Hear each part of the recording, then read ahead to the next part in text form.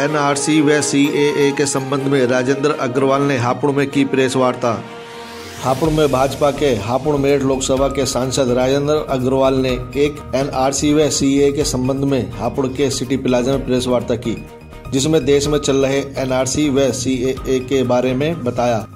सुनिए सांसद राजेंद्र अग्रवाल की। मांग की नागरिकता दी जानी चाहिए यानी इन लोगों को नागरिकता दिया जाना सभी ने, चाहे वो कांग्रेस हो, चाहे वो सीपीएम हो, चाहे वो टीएमसी हो, चाहे वो अन्य दल हो, उन्होंने इसको मौलिक वो नैतिक दायित्व भी माना और इनको संवैधानिक दायित्व भी माना। लेकिन उन्होंने किया नहीं इसको। अब 2019 में जब ये किया गया तो उसका विरोध किया जाना इन दलों के द्वारा।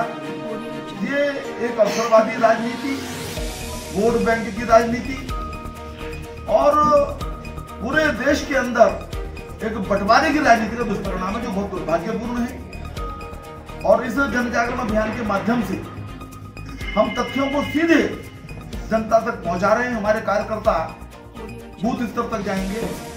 हमारे जो सेक्टर्स हैं, जो आठ, पाँच पाँच छः छः बूथ को लेकर के बने हुए हैं, वहाँ तक हम कार्यक्रम का आयोजन करेंगे।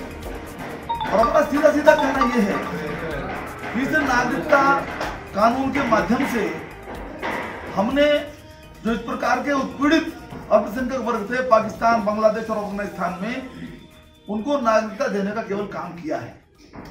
जो मुस्लिम या अन्य लोग भी इस देश में देश की आज़ादी के बाद से रह रहे हैं वो हमारे सम्मानित नागरिक हैं उनके समान रूप से अधिकार हैं। आज तक उनके अधिकारों पर कभी कोई अ, उस पर कोई चोट नहीं पहुँची है।